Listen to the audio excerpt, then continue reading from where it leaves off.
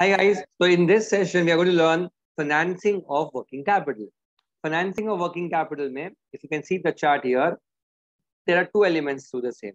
Number one is how much investment we are going to make in current assets, and then how how are we going to finance it by way of debts, by way of debts. So let's check it out. The first phase first, that is how much do we want to invest in current asset. For example, if I want, if I have a showroom of motor cars, okay. Now the showroom is basically of say Maruti Suzuki brand, Maruti, okay. Now they say me you can keep five cars in your showroom for display. You can keep ten, you can keep fifteen.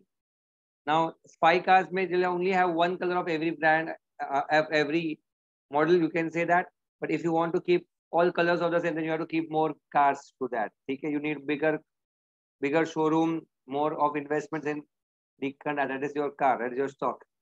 Now what happens is in how much investment you want to which you are going to make in current asset.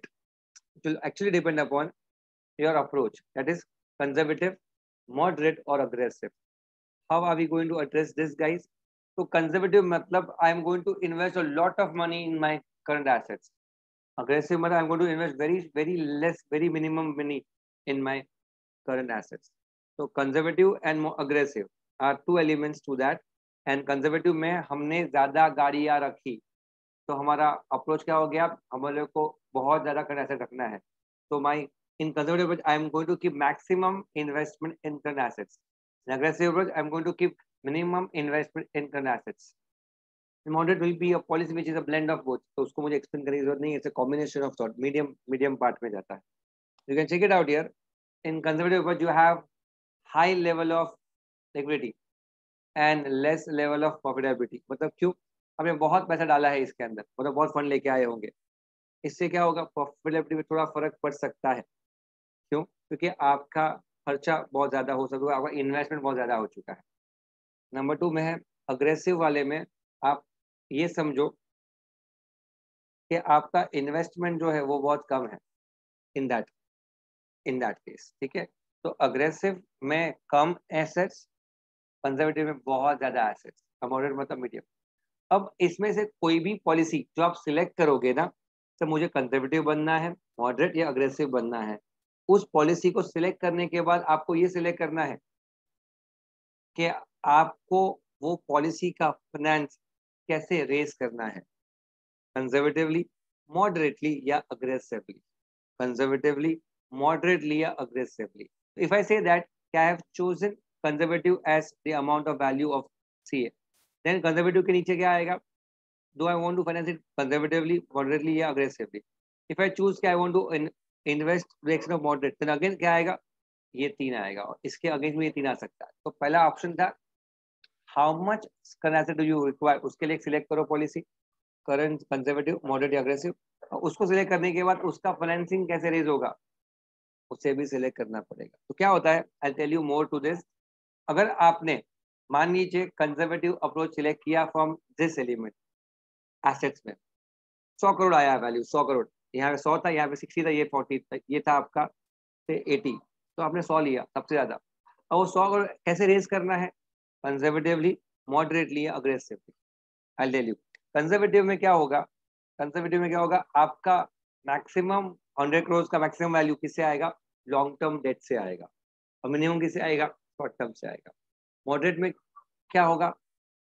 I am sorry I should explain you first aggressive aggressive में क्या होगा? तो aggressive में सबसे ज़्यादा date value कहाँ से आएगा? शॉर्ट टर्म से।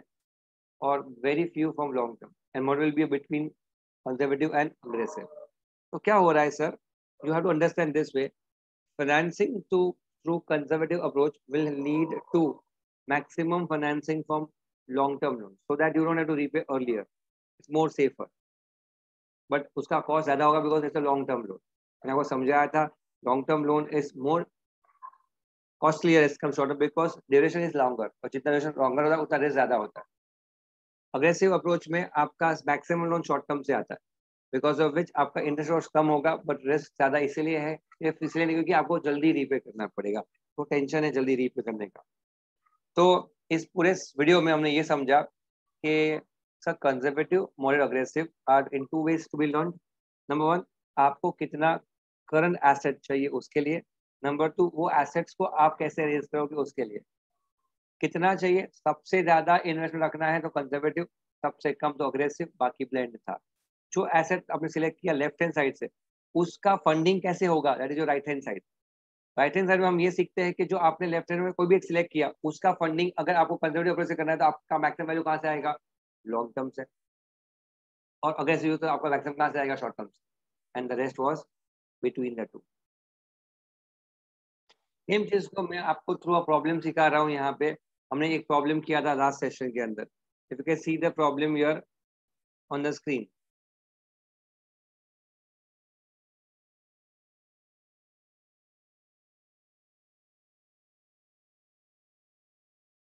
yes. So, in this problem, what we were discussing was, हुआ क्या सर कि अगर आपका वर्किंग कैपिटल पॉलिसी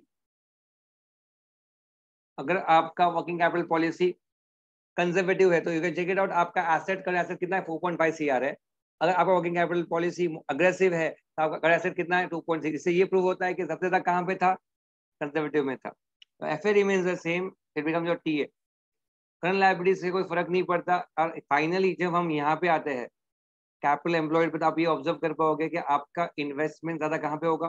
कंजर्वेटिव में होगा, क्योंकि सबसे ज़्यादा करंट एसेट वहाँ पे होता है और सबसे कम कहाँ पे? यहाँ पे। इफ़ यू सी सेल्स तो जहाँ पे एसेट इन्वेस्टमेंट ज़्यादा होगा, वहाँ पे सेल ज़्यादा होगा। तो आप ऑब्ज़र्व करोगे sales is maximum in conservative and minimum in aggressive आप प्रॉफिट भी देखोगे ईबीआईडी ऑपरेटिंग प्रॉफिट ज़्यादा कहाँ पे है?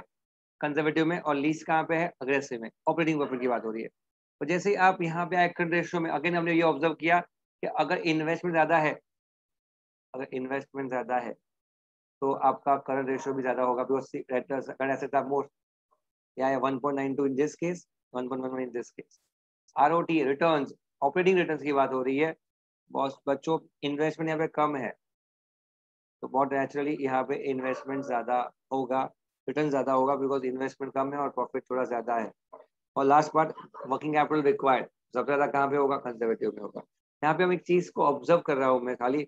यहाँ पे जैसे आप इसको एनालाइज करते हो क्वेश्चन पूछ रहा है रेशो ढूंढो। आर ओ टी ढूंढो नेटवर्किंग कैपिटल ढूंढो। This is what you record current C upon C L R O T में ईबीआईटी में total assets and net working C A minus C L हम अगर इसमें और आगे जाए तो आती है बात कि जो आपने सिलेक्ट किया, अगर आप ऑब्ज़र्व करोगे इस क्वेश्चन में हमने सिलेक्ट किया था वर्किंग कैपिटल पॉलिसी और मॉडरेट अप्रोच तो हमने फिक्स कर लिया three point nine three point nine three point आगे हमने सिलेक्ट कर लिया moderate approach upward how much C to be required वो आ गया सिलेक्टेड तो आपका ये टी आ गया माइनस करंट लाइबिलिटी अब प्रॉब्लम क्या होता है कि हमने ये सीखा है कि सब कंजर्वेटिव अप्रोच में your long term will be higher more and short term is less और ये ऑब्ज़र्व किया कि लॉन्ग टर्म का rate is higher as term short term interest का रेट हमने ये भी ऑब्ज़र्व किया long term interest rate aggressive के अंदर लॉन्ग टर्म कम होता है और शॉर्ट टर्म ज़्यादा होता है। कंजर्वेटिव में लॉन्ग टर्म ज़्यादा और शॉर्ट टर्म कम होता है। तो ये आपकी प्रूविंग क्लैरिटी आती है। शॉर्ट टर्म को आप करंट लाइबिलिटी में कंसिडर कर लोगे। शॉर्ट टर्म को and moment you do that आपका करंट रेशो चेंज हो जाएगा बिकॉज़ यहाँ पे शॉर्ट टर्म फॉर्म क्या मानेंगे? करंट लाइबिलिटी मानेंगे। It's a simple sum further हमें करना क्या है? सी ए ढूंढना है। C A minus C L C A upon C L और finally we have to go with what R O E are में क्या है formula E A T form here that is you find it out your CAT and divided by equity that gives you the answer. I have just tried to give you a recap to the entire part regarding the same. I hope again you enjoyed the session.